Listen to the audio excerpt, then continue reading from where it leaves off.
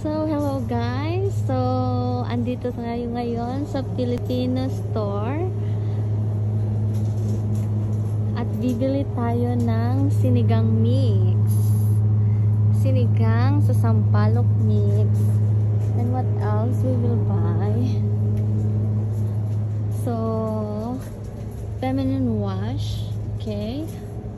So, parang nasa Pinas lang tayo guys.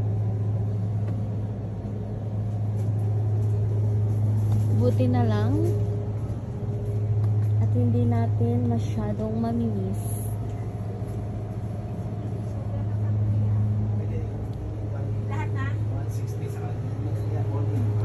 And I think they have everything. They have my favorite chippy.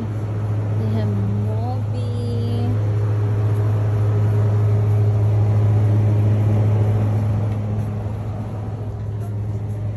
And they have all of this. Nakakatuwa. So, ayun lang guys. May walis din sila. oh, saan ka pa?